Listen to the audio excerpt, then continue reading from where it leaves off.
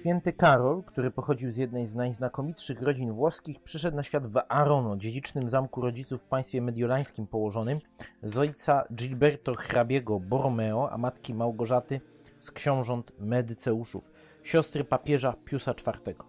Światłość niebieska, która otoczyła jej łoże, gdy go na świat wydawała, była zapowiedzią wysokiej świętości, do jakiej go Pan Bóg przeznaczał. W dzieciństwie ulubionymi jego zabawami były zajęcia odnoszące się do chwały Bożej. Małym dzieciaczkiem będąc, przystrajał sobie ołtarzyk i przyrządziwszy jakby szaty kościelne, przywdziewał się w nie, naśladując różne obrzędy święte. Do Matki Bożej szczególnie miał nabożeństwo jej przed obrazami najdłużej i najżywniej się modlił. Nie miał jeszcze żadnych święceń duchownych, kiedy według ówczesnego zwyczaju dostały mu się w spadku po wuju bardzo wielkie dochody z pewnego opactwa.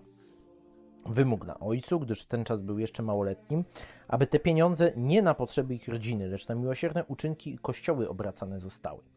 Gdy doszedłszy do pełnoletności, sam stał się panem tego majątku, tak iż sam z niego czynił użytek. Wysłany do Akademii w Pawi, chociaż został tam między młodzieżą uczącą się obyczaje bardzo zepsute, wsparty jednak opieką Matki Bożej, do której, widząc niebezpieczeństwo, w jakim się znajduje, ciągle się uciekał, wyszedł z tej próby bez szkody. Czystość jego obyczajów i wysoka pobożność, którą się już wtedy odznaczał, raziła rozpustnych jego towarzyszy. Ci kilkakrotnie nasyłali na niego złego życia niewiasty, które święty ten młodzieniec ze zgrozą odegnał, co najzbawienniejszy wpływ nawet i na te nieszczęśliwe istoty wywarło. Widząc, że ojciec zamierza skłaniać go do zawarcia nadzwyczaj świetnego małżeńskiego związku, przyspieszył wykonanie zamiaru, jaki już miał wstąpienia do stanu duchownego i w krótkim przeciągu czasu przyjął święcenia kapłańskie. Rodzony wuj jego, papież Pius IV, zawezwał go do Rzymu i uczynił kardynałem, kiedy miał lat 23, a od tej chwili zajaśniał on w tym dostojnym gronie wysoką pobożnością i wszelkimi cnotami. Wtedy to Sobór Trydencki był zawieszony. Za usilnymi staraniami świętego Karola, który rozliczne i wielkie przełamywać musiał z tego powodu trudności, został na nowo zwołany i z niewymownym dla Kościoła pożytkiem ukończony. Zamianowany na arcybiskupa mediolańskiego, chociaż papież dla spraw powszechnego kościoła chciał go zatrzymać przy sobie, wymówił się jednak od tego i uprosił, aby mu pozwolił udać się do swojej diecezji, co też i uczynił, zrzekając się dobrowolnie, chociaż mu Ojciec Święty pozwalał to zatrzymać, wszystkich innych posad kościelnych, które mu przynosiły około 150 tysięcy dochodu. Przybywszy do swojej stolicy, w której przeszło lat 80, arcybiskupi osobiście nie przesiadywali, zastał całą diecezję w najopłakańszym stanie. Księża tak byli nieoświeceni, że wielu z nich nie znało artykułów wiary. Lud nie miał ani wyobrażenia o prawdach chrześcijańskich, mało kto umiał się przeżegnać i pacierz odmówić. Święty Karol na tak bardzo zaległym polu rozwinął całą swoją pasterską gorliwość, wskutek której po 22-letnim zarządzie tą archidiecezją uczynił z niej arcywzór, na który z podziwem kościoły całego świata patrzały. Zaczął od urządzenia całej diecezji swojej według postanowień świeżo ukończonego Soboru Trydenckiego. Dla wprowadzenia karności w duchowieństwie odbywał częste synody prowincjonalne. Pourządzał seminaria, obsadziwszy je uczonymi i świątobliwymi profesorami. Sprowadził kilka zgromadzeń zakonnych, tak męskich, jak i żeńskich, odznaczających się jak najściślejszym zachowaniem swych reguł. Pozakładał nowe, a między nimi i domy przytułku dla nawróconych kobiet złego życia, a wszystkie te klasztory i zakłady najhojniej z własnego majątku uposażał lub utrzymywał.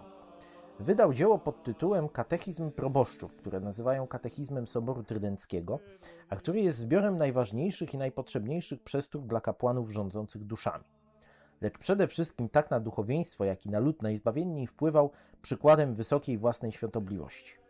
Prowadził życie nadzwyczaj umartwione, często pościł o samym chlebie i wodzie, zwykle jadał tylko jarzyny i pospolite owoce, nosił ostrą włosienicę, większą część nocy spędzał na modlitwie i krwawym biczowaniu się. Pokory i słodyczy w obcowaniu z drugimi był niezrównany. Zwiedzał swoją archidiecezję każdego roku dwa razy i zwykle pieszo, aż gdy dostawszy rany na nodze na koniu musiał jeździć. Zdarzało się, że aby czasu nie tracić, jadąc tak brał swój lekki posiłek. Wszędzie sam kazywał, słuchał spowiedzi, bierzmował i miał zwyczaj puty z żadnej parafii nie odchodzić, aż tam wszystkich z jakiegokolwiek powodu między sobą powaśnionych pojednał.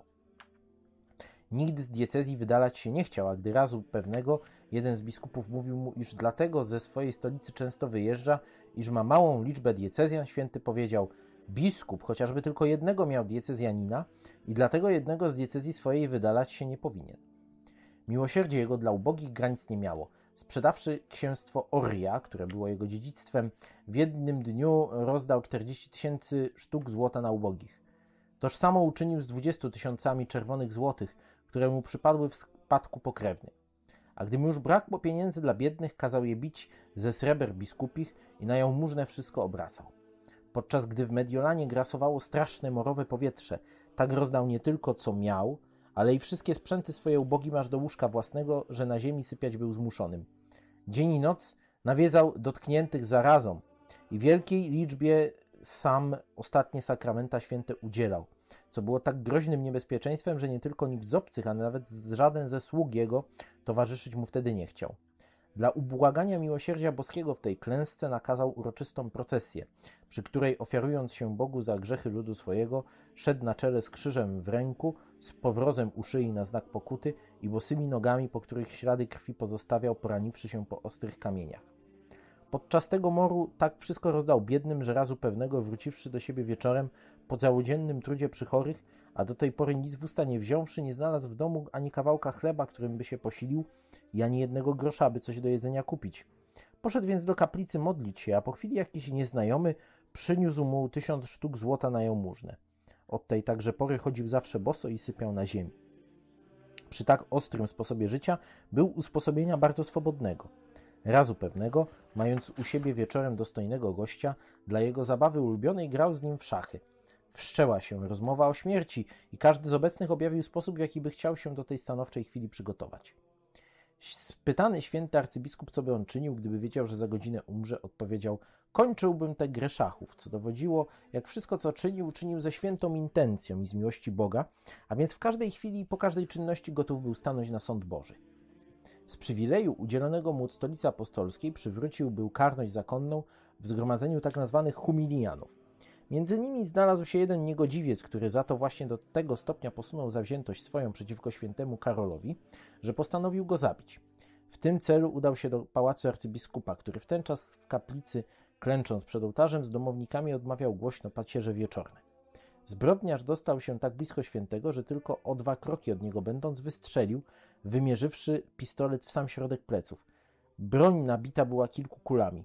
Jedna z nich, która pomiędzy łopatki arcybiskupa trafiła, zsunęła się po grzbiecie jego jakby po pancerzu i padła mu przy nogach. Druga ugrzęzła w drzewie ołtarza na parę cali, a trzecia kawałek muru odwaliła. Święty ani drgnął w czasie tego, zakazał sługom, aby zabójcy nie chwytali i dalej pacierze najspokojniej kończył. Wielce poważał dziewice w zakonie poświęcone Bogu.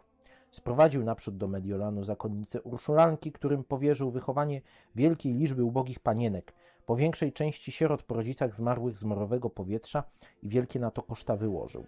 Także wybudował klasztor dla kapucynek, wprowadził je tam uroczyście z procesją, przy której osiemnaście tych oblubienic Chrystusa Pana, które z własnych rąk jego przyjęły ubogie suknie świętej Klary, postępowały z wielkimi krzyżami na barkach i z koroną cierniową na skronach, otoczony duchowieństwem i licznym ludem. Miał zwyczaj co rok udawać się na odosobnione miejsca dla odprawienia rekolekcji. Udał się w tym celu do klasztoru na górze Varalia, gdzie znajdowały się pięknie rzeźbione stacje drogi krzyżowej. Po kilku dniach spędzonych w tej samotności, przymnażając sobie zwykłych umartwień ciała, lecz opływając w tym większe pociechy niebieskie, święty zapadł na gorączkę. Przywieziono go do Mediolanu, gdzie choroba się wzmogła. Przyjąwszy ostatnie sakramenty święte, leżąc na ziemi posypanej popiołem, nie spuszczając z oczu Pana Jezusa ukrzyżowanego, poszedł do nieba, mając lat 47, dnia 3 października roku pańskiego 1584. Papież Pius V wpisał go w poczet świętych.